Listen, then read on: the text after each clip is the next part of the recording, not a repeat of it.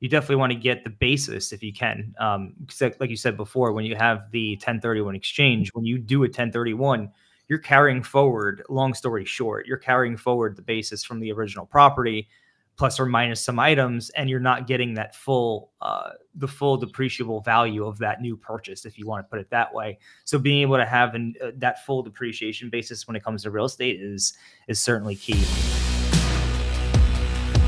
so, what are your thoughts on A, the traditional installment sale with businesses, like I just said? And then B, uh, what are your thoughts on the deferred sales trust?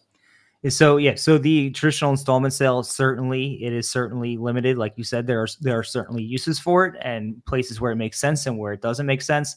And then uh, as for the deferred sales trust, it's something that we have had some clients explore, and it's if you and your advisors are are are all informed on how it works and you're able to operate it, it's certainly an option to consider. So I, I really don't have a strong opinion on it either way. It's just another tool in the tool belt uh, for investors to particularly use if it works for them.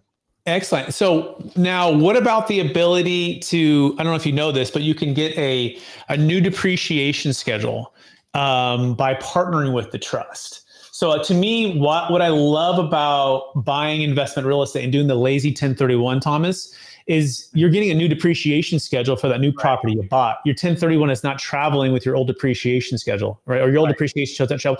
So, so one of it, we call it tax flow, right? To maximize tax flow, you want to maximize depreciation with cost seg, with bonus depreciation, but also with the full fresh depreciation schedule. I have a client, his, his name's Harry, and I sold his apartment complex in Sacramento. And he has a second apartment complex that he's owned for over 30 years. And as you know, multifamily is 27 and a half years fully depreciated. I said, Harry, why don't you sell? He goes, Brett, I don't have anything to 1031 into. In full honesty, you know, the profit's not accepted in his hometown.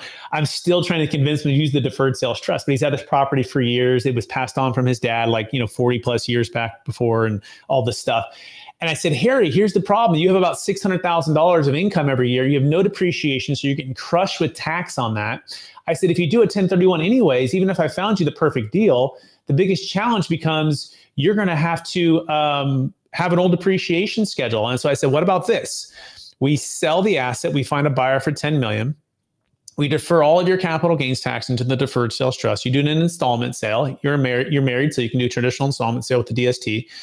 But then you can partner with the trust. So watch this, watch this, Thomas. He could form a brand new LLC and think of it kind of like a syndication or a partnership JV LLC. It's more like a JV LLC. And the trust can fund this LLC, but he's the managing member of the LLC. Okay. And they can go, he can go buy real estate at any time with the fresh depreciation schedule. Yeah. Okay.